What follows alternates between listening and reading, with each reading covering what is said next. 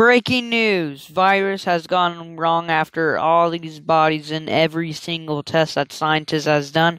Scientists has been saying that this has gone really worse and everybody needs to go to their die to their location and need to get shelter very quick at a fallout shelter or somewhere concealed or else you might get a chance of it after houses are burning down and everything going bad.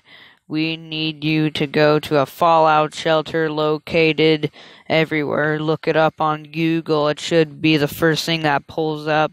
There's over 5 million fallout shelters and and and they eh, just look it up and then it'll be everywhere. Just go to a fallout shelter and stay safe. Do not leave the fallout shelter after hundreds and thousands of bodies laying on the floor and and then everybody's dying. You need to get to your shelter right now. Look it up, go there and stay there until this has passed over. Warning, do not leave your house. Do you see all these fires? This has been from the creatures running around ch- chewing on people and killing everybody. So stay in your designated shelter.